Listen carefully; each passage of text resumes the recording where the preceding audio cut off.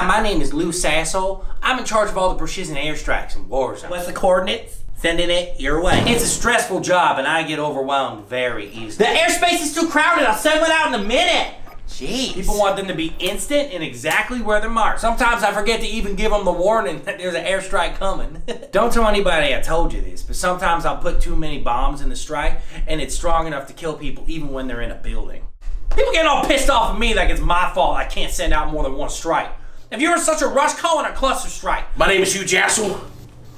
Not delivered to cluster strikes. My life is fast paced and not well thought out. There's no time to think when you're sending out six barrages per cluster strike. Yes, I sent the strike over there. Where'd you send it? Over there! Just over there! Just in that general area! Just, what do you mean there? I sent like six strikes! Carpet bomb the shit out of it! I haven't seen my wife and kids in two years. I wanna know what love is! Want you to show me! My job only gets stuff whenever there's a... Fire sale!